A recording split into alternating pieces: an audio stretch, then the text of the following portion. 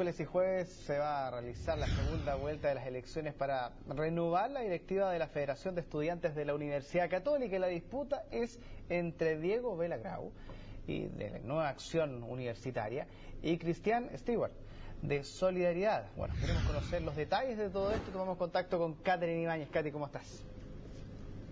¿Cómo estás, Germán? Muy buenos días. El pasado 23 y 24 de octubre se desarrolló la primera vuelta. En esa oportunidad, los candidatos que tú ya mencionabas, que corresponden a los movimientos que también señalabas, son los que pasaron a segunda vuelta. Elecciones de la Federación de Estudiantes de la Universidad Católica que se van a desarrollar entre hoy y mañana en algunos campus acá distribuidos en la región metropolitana. Estoy, de hecho, en el campus San Joaquín con uno de los candidatos y también con quien pasó ya la primera valla, que es la segunda vuelta, y va entonces a ver cómo va el resultado con ello. Estoy con el representante de Solidaridad, quien va al cupo de presidente, Cristian Stewart. Cristian, ¿cómo estás? Gracias por estar con nosotros. Hola, muy buenos días, muchas gracias a ti. Bueno, con miras a esto y un proceso eleccionario que es importante, pero que también nosotros miramos desde el exterior, principalmente por la mm, activa participación que han tenido los estudiantes.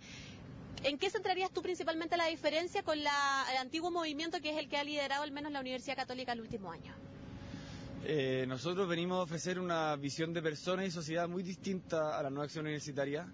Eh, creemos que no, hay incompatibilidad en defender la dignidad de la persona desde la concepción hasta la muerte natural y durante toda la vida, atendiendo mucho a la, dignidad de las condiciones laborales de los trabajadores también. Y tenemos una visión distinta, eh, identificamos la, la misma identidad de la universidad de una manera diferente y tenemos una propuesta que atiende a cómo los estudiantes nos hacemos cargo del país eh, respondiendo un poco a la misión fundacional de la universidad que consiste en hacerse cargo de las problemáticas sociales del, país. ¿Qué es lo que perciben ustedes como Movimiento Solidaridad respecto al comportamiento que pueda haber con los estudiantes? Ya pasaron a segunda vuelta, pero también hay que decir que hay una trayectoria, por lo menos desde que lo que nosotros conocemos de la nueva acción universitaria, eh, con dos periodos que se han al menos mantenido una cierta concordancia. Entonces, en el fondo, ustedes, ¿cómo pretenden poder destronar ese, ese cetro? Sí, ya llevan cuatro años y por eso se hace tan necesario un cambio, es muy sana alternancia, pero no un cambio por un cambio, un cambio en que nos podamos hacer cargo de que nuestras mallas curriculares apunten a la construcción de una sociedad verdaderamente justa y humana, un cambio en que superen un poco la, cultura del conformismo y el egoísmo que prima no solamente en nuestra universidad, sino, sino también en la sociedad. Y en ese contexto pretendemos hacer un, un cambio que sea un proceso que comience el próximo año y yo creo que la gente que ya votó por nosotros en primera vuelta se está dando cuenta que eh, urge una nueva forma de hacer política la católica, con una visión de persona y de sociedad que sea distinta y que atienda un poco a los signos de estos tiempos. ¿Qué pasa ahora en estos tiempos donde el movimiento estudiantil ha estado tan en primera plana, donde los líderes universitarios probablemente no son lo mismos que hace un par de años, donde hay un movimiento álgido, donde hay proyectos que se están desarrollando, donde hay demandas? ¿Qué postura tienen ustedes frente a ello y cómo pretenden incorporarse de lleno a esto? Nosotros creemos que la política universitaria ahora está como muy alta, no sé cómo decirlo, está con un nivel en que nos exige mucho a las personas que estamos metidas, sobre todo por el movimiento estudiantil. Nosotros nos queremos incorporar al CONFECH, creemos que las injusticias que se viven en ocasión son muy graves, son muy delicadas, y en ese contexto queremos incorporarnos eh, para enriquecer la discusión. Yo creo que es muy importante que se generen discusiones de fondo, no solamente de forma, eh, que se pongan distintos temas sobre la mesa que hoy día están ausentes como la educación inicial, eh, la carrera docente, la educación rural, que brillan por su ausencia. Y en ese sentido queremos ampliar un poco la mirada y que se generen discusiones para proponer y ofrecer alternativas distintas. Yo creo que es muy positivo. En ese sentido, ¿ustedes tienen alguna eh, expectativa de, hacer algo distinto o comparten algunos de los puntos que ya se han hecho en las administraciones anteriores, independientes que no son del movimiento al cual tú perteneces? Nosotros somos parte del diagnóstico del movimiento estudiantil de esa cara que muestra una educación muy injusta, una educación que en materia de acceso, de financiamiento, de calidad, de institucionalidad, eh, funciona muy mal. Y por eso mismo eh, es tan necesario hacer una reforma, sensata. Nosotros no creemos en, la política de los blancos y negros, de los buenos y los malos, y la educación es un, es un asunto tan complejo que es iluso y es muy insólito pretender que se va a generar un cambio de un día para otro. Por eso es tan importante entender que se pueden llegar a acuerdos y que no empecemos a exigir o a emplazar, sino más bien a ofrecer y proponer y que no, desde nuestra constitución estudiante nos hagamos cargo de esta situación proponiendo soluciones concretas y pasando de la propuesta, de la protesta, perdón, a la propuesta. En ese sentido, ¿sientes tú que tienes más puntos de convergencia o de diferencia con lo que se ha hecho hasta ahora por parte del NAU? Te pregunto por el NAU porque son los que han estado a la cabeza de la FEU. Nosotros discrepamos muchos asuntos de fondo con el NAU, eh, también muchos asuntos, o sea, la manera de, conducir este, este conflicto. Eh, pero por eso mismo es tan necesario que no esté una línea eh, parecida al, a, la, a las 90% de las federaciones del CONFEX que son de izquierda y que se produzca una discusión. Yo creo que el liderazgo histórico que ha, tenido, que ha, tenido la Universidad Católica en la construcción de nuestro país hace eh, importante que desde la Católica salga un liderazgo distinto, salga una manera de ver la, la realidad con una concepción de persona y sociedad distinta y en ese contexto hace tan necesario que se produzca una discusión importante también dentro del CONFECH. Ustedes me contaban que el movimiento Solidaridad surgió hace más o menos dos años. ¿En respuesta a qué lo hacen? ¿Con qué objetivo? Porque me imagino que a lo mejor eh, las corrientes, si bien eran diversas, pero hubo algo que gatilló que ustedes decidieran crearlo con particularidades especiales.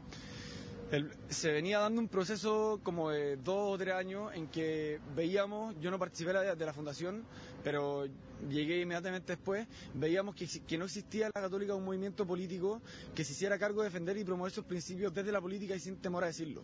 Y, en ese sentido también atendiendo mucho a los signos de estos tiempos. Nosotros veíamos que, y vemos que hoy día existe un materialismo muy grande, eh, un, también un exitismo que incluso se nos inculca en nuestras salas de clase, pero sobre todo el gran problema que trasciende de fondo es un egoísmo.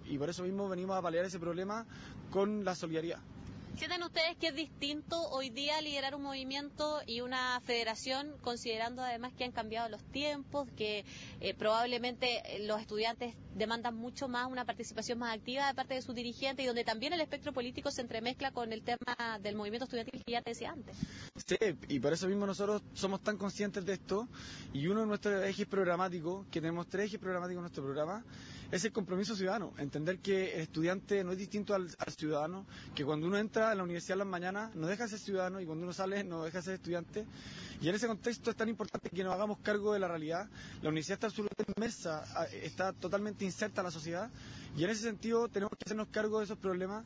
Los estudiantes hoy día, sobre todo la católica, somos bastante privilegiados como para quedarnos de brazos cruzados y mirarnos el ombligo. Y por eso, para nosotros, sino atender a los problemas de la sociedad, tenemos muchos proyectos en ese sentido, pero no tanto a nivel de proyectos, sino a nivel de cultura. Queremos como superar la cultura del egoísmo, del metro cuadrado y del conformismo y hacernos cargo de los problemas de la sociedad. Para concluir, Cristian, ¿qué expectativas tienen ustedes de la participación hoy? ¿Creen que va a estar reñido, que ustedes van a poder lograr ventaja respecto al otro contendor? Estamos súper tranquilos, eh, pero al mismo tiempo muy expectantes de lo que pueda pasar. La primera vuelta fue una sorpresa para todos, en todo sentido. Y por eso mismo yo creo que hoy día puede pasar, o sea, hoy día mañana puede pasar cualquier cosa. Estamos muy tranquilos también por la pega que hemos hecho. Hemos hecho un trabajo sostenido durante todo el año, que yo creo que va a dar sus frutos en esta elección. Y espero que todo el mundo pueda participar, más allá de votar por uno u otro movimiento, porque yo creo que el próximo año va a haber cambio importante. Y, y a mí me gustaría que todo el mundo sea protagonista y que no sea espectador de estos cambios. ¿Ustedes son partidarios de incorporarse independiente del liderazgo, si es que ganan, o desde la plana más secundaria, si es que pierden? Nosotros siempre vamos a participar, eh, ganemos o perdamos. Nuestro fin último como movimiento no es gobernar la universidad, si bien es un medio muy importante para poder llevar nuestra idea a la práctica, pero obviamente vamos a seguir participando si es que ganemos o perdamos y en ese sentido vamos a, como movimiento a seguir existiendo porque la universidad tiene que llenar un espacio eh, que justamente nosotros creemos que es solidaridad.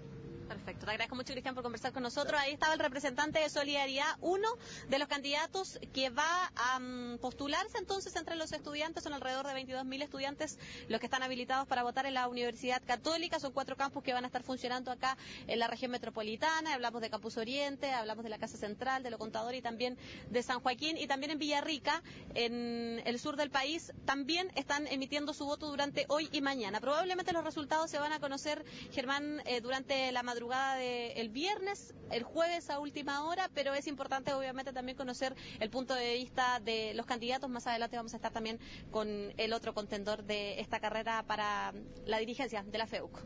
Muy bien, de ahí retomamos la comunicación. Que estés bien, Katy. Buenos días.